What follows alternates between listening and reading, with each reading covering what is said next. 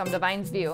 In the summer of 1994, a small group of people sat around a kitchen table, much like we are here today, and discussed how to create a safe and effective way for people to help their neighbors.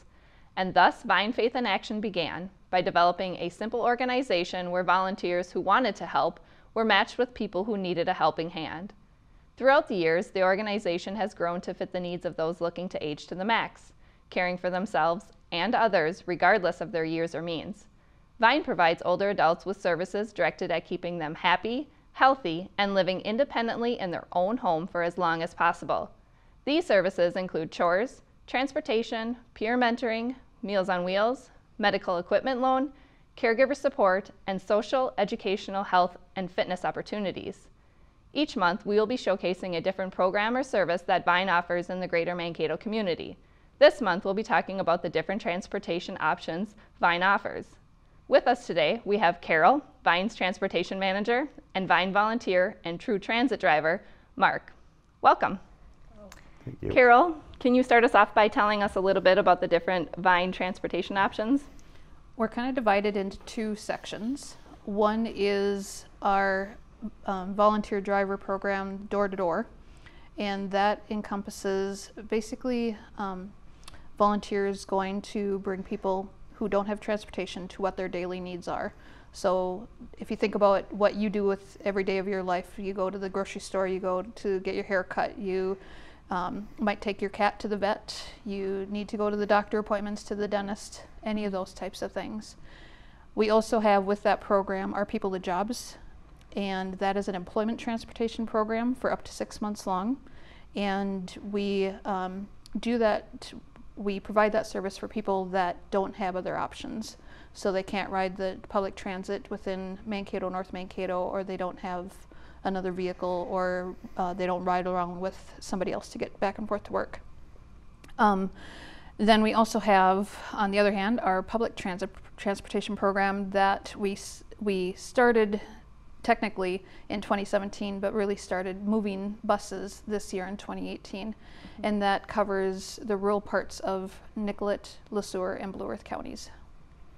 And the different programs, um, the big difference between the two different programs of True Transit and Vine's door to door programs are um, one is public, correct? Yep. So anybody can utilize. Anybody can utilize it.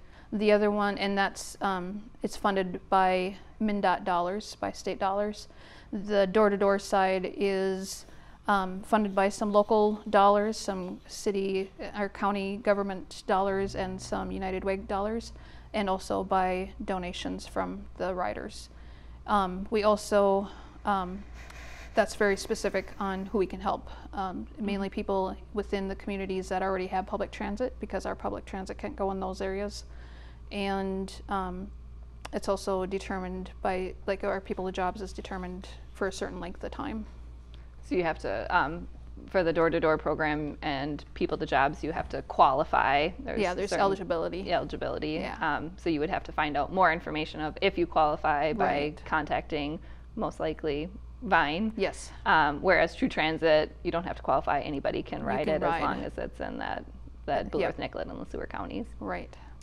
And um, Mark is joining us as well. And Mark started off as a volunteer driver, correct? And yes. now he's been upgraded, I'll say, to a true transit driver. Yeah. Um, Mark, can you tell us a little bit about how you got started driving for Vine and um, both the volunteer program and with True Transit? Sure. Um, I retired from CenterPoint Energy after 40 years, and I in 2014, and I just felt I had to fill a void. I, I'm not one to just sit at home.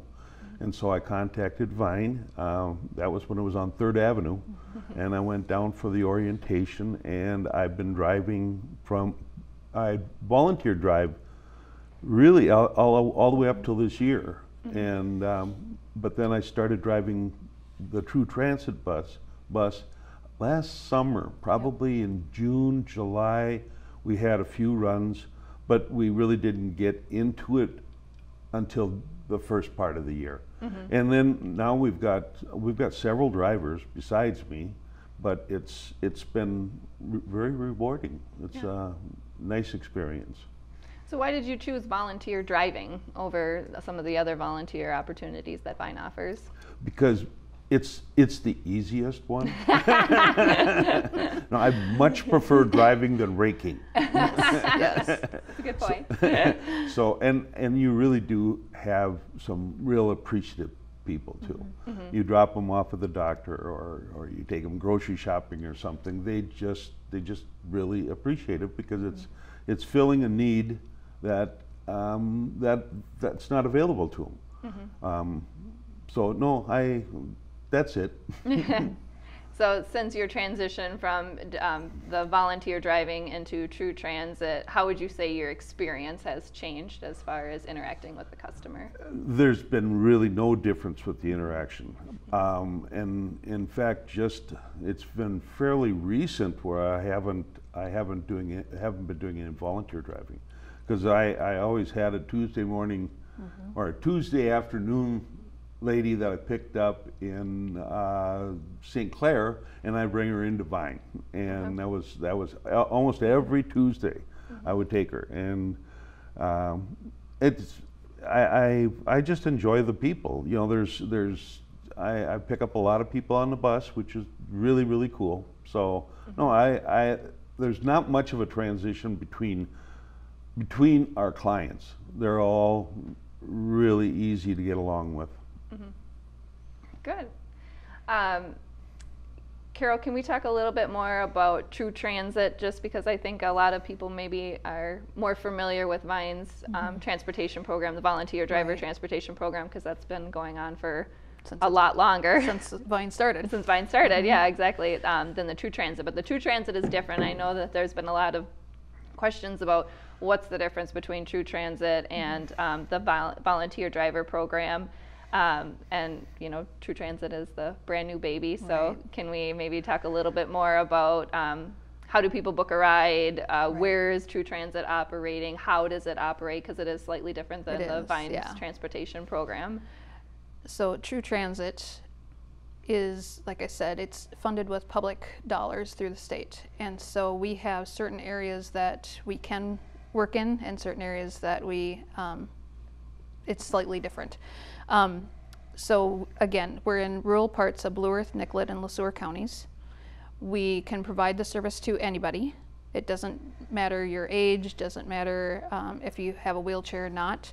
In fact, we can take people in wheelchairs because each bus is, has a wheelchair lift on it. Yeah, And, and we have even, a picture, if we can share that picture of the bus so people can see. Um, and we have how many total buses? We have four, five buses. Okay, and all the buses are similar to this one, Yes, um, and they all have the wheelchair, wheelchair lift, lift in the back. for those people who need that wheelchair lift. And, um, And even if you don't have a wheelchair, but you find the steps to be too tall or too hard to do, you can use the lift. So you may use a walker, or you may just, um, it just may not be easy for you. Or you may be bringing kids along and you have a stroller with you. You can use the lift to get up and down. It's basically just like an elevator, so almost easier to get into than a regular sedan. Um, we also can provide the service within the three counties, and um, we cannot provide two sides of the leg, uh, two sides of the ride. So we can either bring you into communities or out of communities that already have public transit. And those communities are Mankato, North Mankato area, St. Peter, the city of St. Peter, and the city of LeSueur. So we can bring you into those communities and back out, but we can't drive you inside those communities. or people within those communities can go outside of the Yes, city, but they just can't go within that Right, city. So a. Mankato to Mankato If you- destination. One example is we've got um, people that have family outside of Mankato, and so we're bringing sisters from Mankato out to visit her sister in Elysian, or vice versa, kind of thing, bringing her the other sister back in. We um, um, also there is a cost to it, and the cost ranges um, from three dollars and there's another service that we call premium service that is a little bit more per mile. Um, so first off, we have routes and we have in-town services in certain communities, and then we have a county-wide day for each of the counties. And those services are all three dollars each. There's certain days, there's certain times, uh, there's things to look at. Can we actually pull up the map, um, the service map, so we can share that with people? And we also know that each day is a little bit different in each county. And um, so it doesn't necessarily work well for employment transportation at this time. We're hoping in the future we can build that into the system.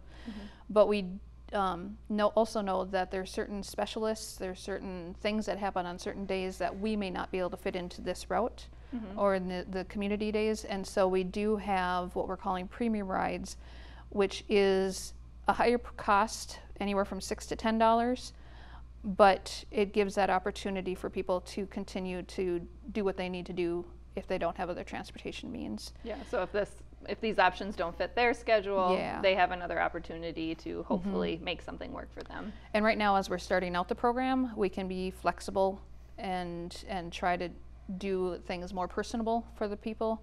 But eventually, hopefully, we are get to the point of being so busy that we do have to um, more adhere to the times and things.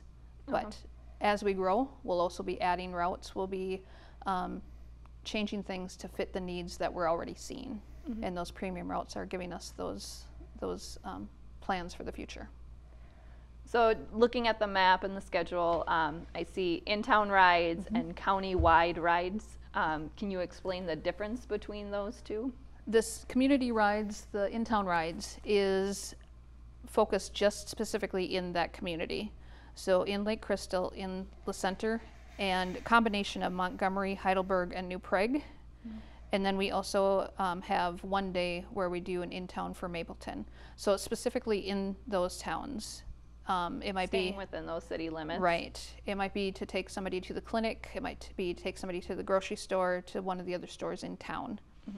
The countywide days, when we created the schedules, we did the in-town days. We created the routes that you see over on the other side, and then we realized that you know there's still places within each county that we're not able to hit with those with those two options. And so we created one day a week to focus on getting people from anywhere in the county to their county seat, mainly to focus on doing um, po- possibly um, if you need to go to the courthouse, if you have some title work that you need to deal with, or or things like that.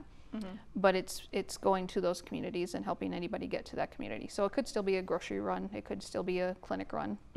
So the whole, anywhere in the county on that specific day, so we'll say Monday, for instance, anywhere in LeSueur County, um, between 8 AM and 5 PM, you can go from anywhere in LeSueur County to either LeSueur or Le Center. Right. And it operates kind of as a, sort of a dial-a-ride system. Sort of, yeah. For Yeah. both of You those- you can let us know what time your rides. appointment is or what time you need to be where and how Yeah. long you're going to be there. as long as it fits within that normal operating time. Right. And then it's just three dollars to ride in for that day. Right. But if that day doesn't work and you need to go at a different time, then Yep, that's and the you would- others, the, the other routes don't work, then Uh-huh. we can talk about what other options we can Would be offer. there. It is, the premium rides are subject to if we have a bus available and a driver available. Mm-hmm. But so far, we haven't had to turn anybody away. And then um, for the scheduled routes, I see on Monday, Tuesdays, and Thursdays, it looks like you're in specific communities at specific times. How does the um, pickup and drop off work for that then? We pick you up at your home and we drop you off at the location that you want to go to. Um, and so you don't need to worry about getting to a bus stop. You don't need to worry about, you know, um, finding a way to get from a bus stop to your location that you need to go to. It's, um, we try to get you from basically door to door. Mm-hmm. The only difference on that is on Mondays, going through Nicollet, we do go to New Ulm because what we heard was the west side, or the, yeah, the west side of Nicollet County likes to go to New Ulm to do their shopping and their their medical appointments. And the only location that we do go to in New Ulm is the New Ulm Medical Center. So drop off and, and pick up is there. Mm-hmm. They have another local public transit program that will assist getting you to wherever you need to go to in New Ulm. Great. And Mark, since you've been driving for True Transit, how has it been going with? Um, I'm assuming you're getting some new riders, seeing some new faces on the bus. How are people liking it? Uh, o- occasionally, I get new riders. uh, most of most of our uh, riders are repeat, and we've gotten to know them fairly well. You know, so it's it's it's really fun and refreshing. There's I've enjoyed it, and uh, I, actually, I meet, I kind of meet new friends almost every day. You're making new friends. Yeah. Um, what would you say? So you're saying there's a lot of repeat riders. What would you say to someone who is maybe in need of transportation, but the idea of public transportation is maybe a little scary? Sure. Um, what would you say to someone who is Ge- is ge- interested but scared to try it? Yeah, generally, what I like to do is we carry a few of the pamphlets with, so that we've got something to hand to them, and then we give them examples, or I give them examples of what they can do. And I said, all you have to do is call call the number on there, and then you'll talk to Todd or Carol or Marissa, and they can let you know what all the details, basically. Uh, and I've had a few people like that. Also, if if I'm picking them up at a nursing home or if I'm picking them up at a senior high rise or something like that, I'll give them a couple brochures to bring inside. Because there's a lot of people that don't realize what we can do for them. Yep. And you know what, we've got um, an example would be our Lake Crystal ladies. There's about mm, half a dozen that come in to go to Walmart. Well, we're finally getting to spread a little bit, and we don't drop them all off at Walmart. They may want maybe one wants to go to the mall or Hy-Vee or something like that. I can drop off the majority at one spot and then drive over and pick up the others. We just have to make the arrangements to pick them up and where to pick them up. But uh, no, it works out well. Great. Carol, can you talk a little bit about um, so if someone's interested, how do they book a ride and how do they pay for that ride? Booking can happen in a couple different ways. Either just call us directly and um, we can line everything up on the phone. Otherwise, we do have the ability to book a ride on our online website, and that um, just bring walks you straight through it. It, gives you the options that are listed in the pamphlet, and and will just walk you right through which day you want, your possible locations you can go to, the times, all that kind of thing. And then that sends us an email to say this person booked a ride, and then we can communicate back and forth via email and let them know that we have it and, and, and what time we're picking them up, that kind of thing. Um, to pay for a ride, we have different options also. One, you can use cash right on the bus. We have fare boxes on each bus, and you have to have the exact cash. Our drivers don't carry change. Um, you can also get tokens. There's a variety of places that you can get the tokens in, in some of the communities out in the counties. Otherwise, you can get them through our, our office right at the Vine Adult Community Center. We can also um, pay for it when you book the ride. You can pay for it with a debit or credit card. Or otherwise, we do have some people who have set up accounts with us so that they each time they take a ride, we just take it out of that account and let them know when their account is getting lower on funds and they can add more to it. And um, do people need to book a ride in advance? Is there any sort of requirements there? We like at least two business days notice. Um, what we're finding though, a week ahead of time, it works really nice because we're starting to work on the routes already four to five days ahead. So it's it's nice to know as soon as you as soon as you know you want to ride, give us a call. And are there any rules for riding the bus? We do have policies, and you can find those online also at the website. Otherwise, give us a call and we can send you out a copy. It's not very difficult. Um, just gives kind of certain days that we do have days off, certain holidays, um, how to how to call us, and and a little bit of um, um, good conduct measures. Yeah, maybe common sense. Yeah, yeah. I would hope, anyways. Uh, what about you, Mark? Do you have any special rules for riding your bus? Nothing real special. It's pretty general. But you're looking at things like um, n- not using profanity. Uh, You can't eat or drink on the bus. You can't. Um, you got to be sitting. Actually, I go a little further. I wait until I hear the click of the seatbelt. If it's got a seatbelt, I want them to use it. And uh, and I think I think you agree with that, Carol. And uh, but basically, it's just the normal. They can't be standing or walking around or anything like that. They've got to stay buckled until I I stop the bus. Yeah. So Um, can we talk a little bit more about uh, the going back to the Vine Volunteer Driver Program? Um, And how that operates is that using buses or is that using a different form of, Right. of or a different vehicle? That is using personal volunteer vehicles. And um, it basically operates in areas that already have public transit, but the public transit maybe, um, for whatever reason, cannot assist that person. Otherwise, it, we have contracts set up with counties um, to provide specific rides, um, or it could be with other organizations that we have contracts with to provide rides for their for their people. And um, so it's if it's something that you need help in a community, give us a call. Now that we have the True Transit running, we have um, good availability in each county to provide what's a ride to those that need it, and we can help you determine which way that we can assist you. Okay.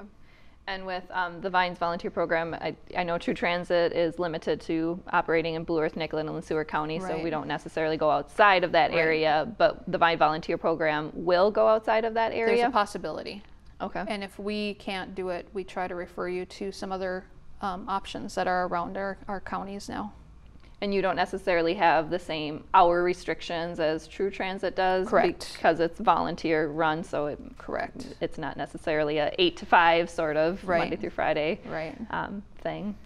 And are you looking for volunteer drivers? Always. Okay, can you talk a little bit about what a volunteer driver um, does and uh, uh, what, what you expect of them, I guess? Um, we call our volunteer drivers anywhere from one to three days out to find out if they're available for a ride. You can always tell us no if you're not. We're not going to fire you. Um, but we we just ask you to we offer you rides and we ask you to look at your calendar and say yep that will work or not. We try to also have knowledge of how long the ride is, should be taking. So if you do have plans, we can work around that. Um, you, at the end of the, of the ride or at the end of the week, we ask you to call us and let us know how many miles you drove, how much time was involved in it for those specific rides. And then we do have reimbursement available for mileage to those volunteers to help them offset their gas costs. And we know that the True Transit bus has the um, wheelchair lift if someone isn't taking True Transit, but they are eh, have a wheelchair and they're in need of assistance getting into or out of a vehicle. Is that possible through the Von, Vine Volunteer Program? That is not just because we are using the volunteers' own vehicles. Okay. And so, but there are some other options that might be of use. So give us a call and we can, we can again help you walk through that.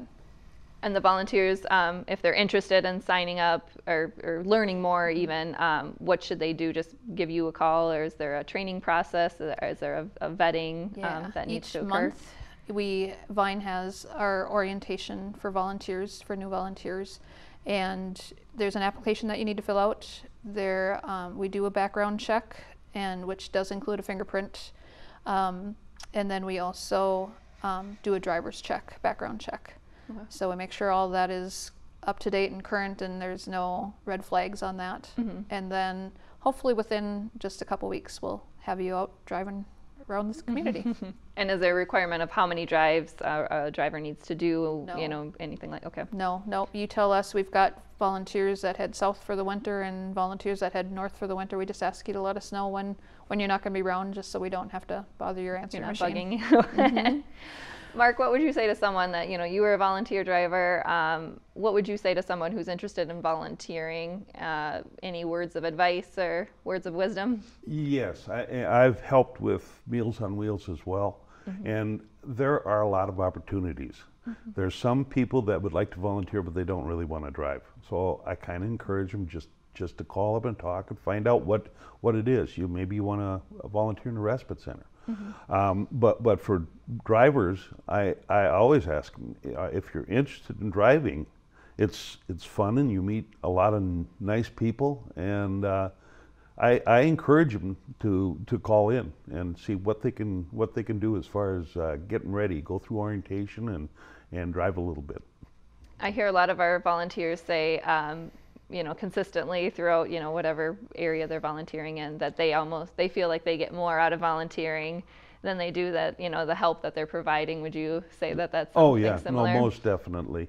And and if you can get into, uh, like I said, I, I had that one lady in St. Clair, and her and I actually were we were friends. You know, by mm-hmm. the time you get done doing this about a half a dozen times, they, all of a sudden you, you they she knows a little bit of my personal life. I know a little bit of her personal life, so you can mm-hmm. ask them, you know, how did that work out or whatever. No, you enjoy you enjoy you got to enjoy people Yeah. to do this, but I, I don't think it's ever been a problem with any of our drivers. I think mm. they've all enjoyed it. Mm-hmm.